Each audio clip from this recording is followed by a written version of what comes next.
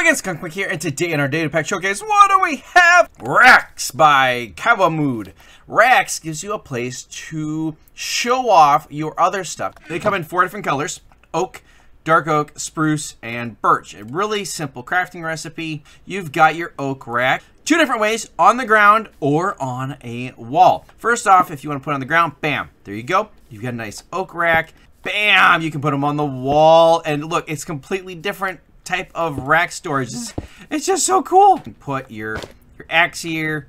Shift, right click, we can rotate them.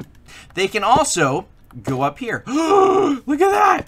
And then your crossbow. This is absolutely amazing. Why do we not have this in vanilla Minecraft? Let, let's be honest. If you guys want to try it out for yourselves, a link to the Planet Minecraft page will be down in the description.